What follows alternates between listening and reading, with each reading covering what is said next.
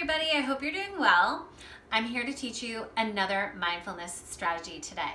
Today we're going to use our sense of touch, and I bet you guys use this all the time and you don't even realize it. If you have a favorite stuffed animal that's super soft and you like to hold it, or you have a fuzzy blanket that you like to wrap around you, essentially that's using your sense of touch to kind of calm yourself, okay? Today though, we're going to use something kind of silly. We're going to use macaroni.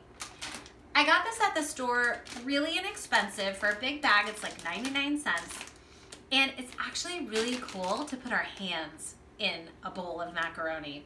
You need to try it. Another thing you can use besides macaroni is rice. Rice is really fun to use. And also dried beans. So if you have any of these items in your pantry, ask your parents first because once you put your hands in it, it you no longer can eat it. So it would be definitely just something you could now use for mindfulness. But try it. I'm gonna use macaroni. So what you do is you put it in a bowl and you need kind of a pretty big bowl so that you can stick your hands in it. You wanna be able to stick both your hands in it. And you don't really wanna fill it to the top because you don't want it to spill over the edges of the bowl when you put your hands in it. And all you're gonna do is put your hands in the macaroni.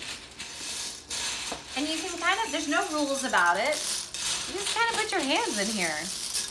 And what you want to do is think about what it feels like to put your hands in the macaroni. Is it cold?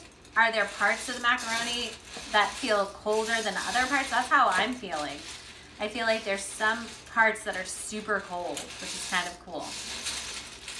Parts of the macaroni are soft, some of the edges are kind of rough.